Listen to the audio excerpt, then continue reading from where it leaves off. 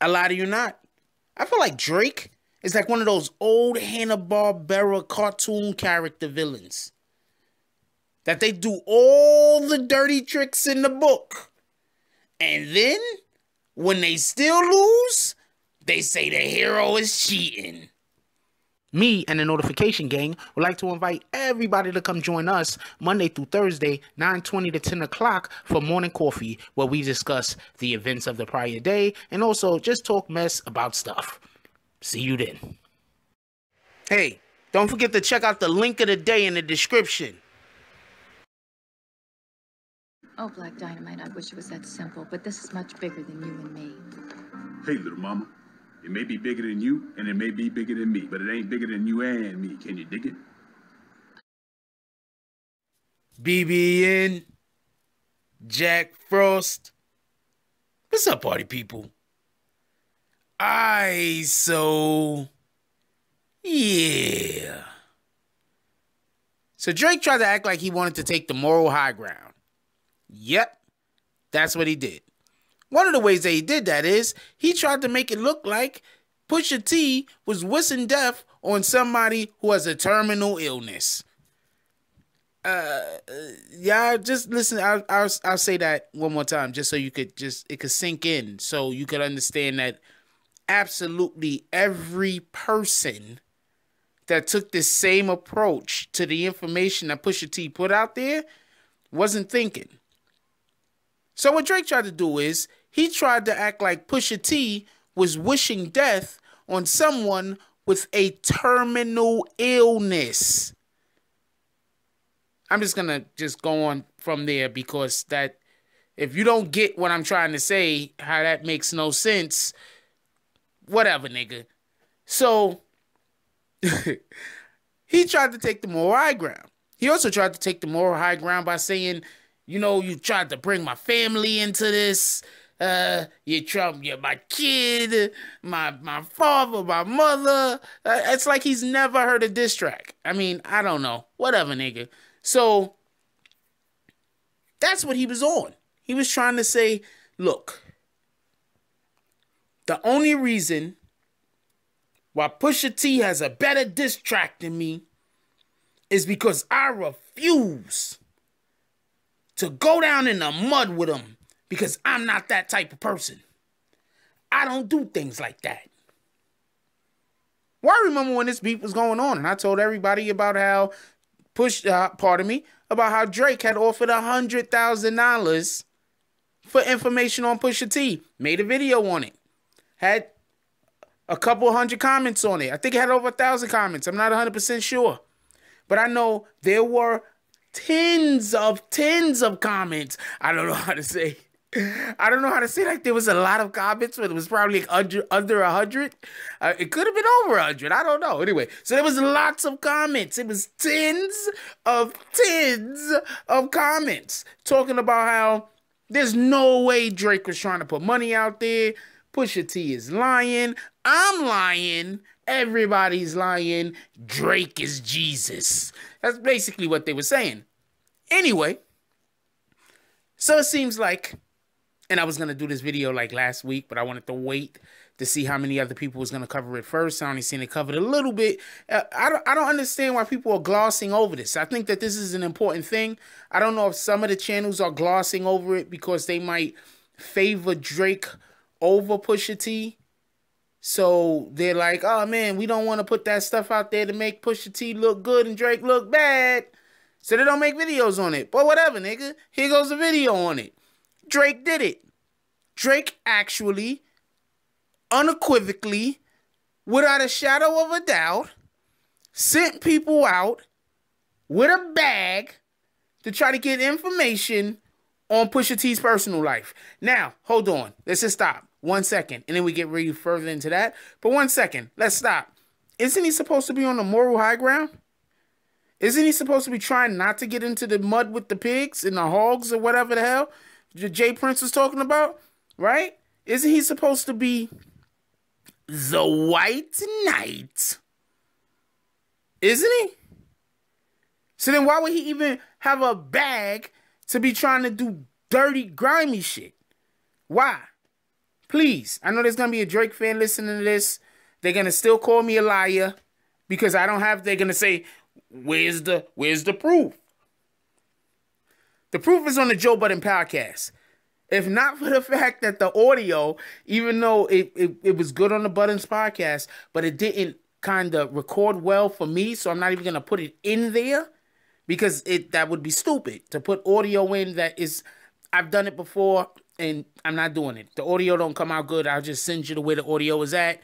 I'll put the link in the description. How about that? Anyway, Drake has decided that he's going to take the more high ground, like I said, remember? And at the same time, he's also gonna he's also gonna put feelers out there. A hundred thousand dollars worth of feelers. And he's also gonna get people that can turn on Pusha to go try to find out information about him. Now, this is the funniest part. This right here is how Drake had to immediately know.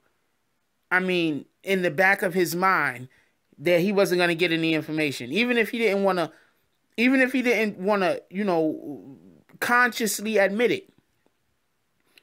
So one of the people that was out there trying to get the information for or the only person i know about let's just be clear on this for drake against pusha was actually a young lady that i believe pusha said he actually knew and kind of called this like his sister allegedly quote unquote somebody that was invited to like his wedding or something. I don't know. I'm, I'm not all, the way 100% clear on that, but that is what he said. But I'm not 100% clear on what he meant by that because he also said it's something about a baby shower or some shit. But uh, as far as I know, Pusha don't have any kids, so I'm not 100% sure on that. But what he did say that the lady was invited to his wedding, I believe. So I'm thinking Drake reached out to somebody. Some people told him no, there finally was a scumbag that said yeah, and that scumbag said, Well, I don't have nothing, but I could try to get some shit.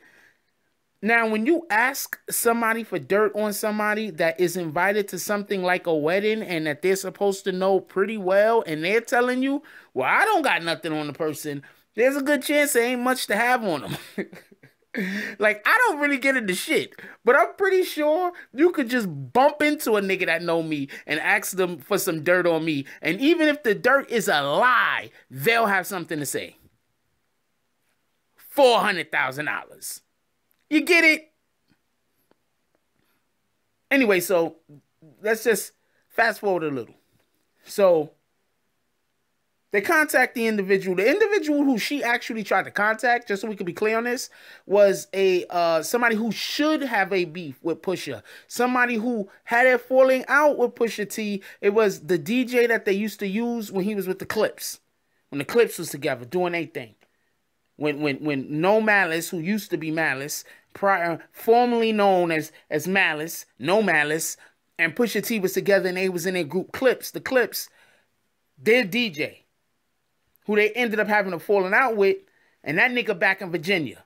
So I wouldn't even be surprised if he still has some kind of beef. But he called up Pusha and told Pusha. So you know what that tells me? That tells me a couple of things. It's one thing when your people that you fuck with respect you. All right? That's that's that's that's expected.